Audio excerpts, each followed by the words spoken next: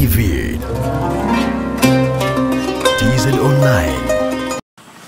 Lakini ndugu wananchi na watendaji wenzangu, tutakumbuka kwamba katika mwishoni mwa mwezi wa nane na wa tisa tulipata tukio la kusikitisha ndani ya shehia hizi mbili. Kulikuwa na mwenzetu ambaye alileta athari kubwa kwa wakulima, lakini pia alileta taharuki kwa wananchi wa shehia hizi mbili. Kama sote tunakumbuka aliweza kuhatarisha usalama wa wananchi wa maeneo haya, lakini pia akaleta athari kwa miti ya mikarafuu na mazao mengine.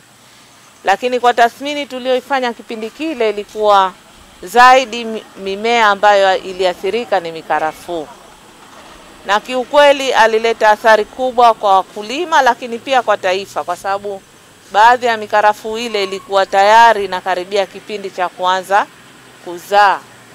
Kwa hiyo kwa kweli lile tukio lilituletea athari sana kama jamii, wakulima, lakini na nchi yetu kiujumla.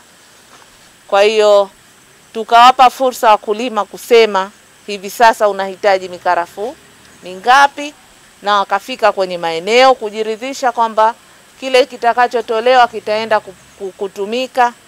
Hatimaye mahitaji yakawa nasema kuna mahitaji ya mikarafuu kama mia nne na kidogo, lakini mkurugenzi msaidizi wa kilimo na watendaji wake wa halmashauri yetu ya wilaya Kati wakasema tutumie mikarafuu mia tano kuwapa wananchi hawa kwa mahitaji ya maeneo yao ya yatakayoenda kutumika. Kwa hiyo kwenye hili leo tumekuja kuwakabidhi. Tunawaomba masheha wapokee maombi ya wakulima alafu watuletee pale ofisini kwa ajili ya kuwapatia wakulima mikarafuu kwa mujibu wa mahitaji yao, na sisi tutakuja kukagua kwa wale ambao wanahitaji, ili tuhakikishe kwamba kila anayepewa mkarafuu kweli anastahiki, ana eneo la kupanda, na wakati huu wataitendea haki katika, katika kuipanda. Kama tunavyofahamu, miche ya mikarafuu ni miche ambayo inahitaji uangalizi wa hali ya juu sana. Ni miche ambayo kwa lugha ya ajabu ajabu unasema kwamba inanongwa, usipoushughulikia kidogo unaweza ukaona unakauka na, na kufa. Kwa hiyo ni waasi wa wakulima, tumekuwa mikarafuu hii. Kipindi hiki ni kipindi kizuri, tuna mvua nyingi za kutosha sana kwa ajili ya kupanda mikarafuu. Kwa hiyo tuipande miche hii na tuishughulikie ili tupe tija ambayo tuna- tunaikusudia. Kwanza tunashukuru, namshukuru Mwenyezi Mungu